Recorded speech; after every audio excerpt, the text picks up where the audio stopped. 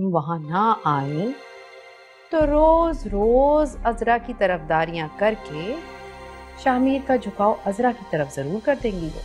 सारे जमाने में ऐसा बदनाम करूँगी कि किसी को मुँह दिखाने के काबिल नहीं रहोगी। अगर मैं यहाँ से चली गई तो आपका बेटा भी आपके हाथ से निकल जाएगा। सारी खताएँ आपकी। सजाएँ मेरी। कबा से यार मेरे इश्क दा निकलिया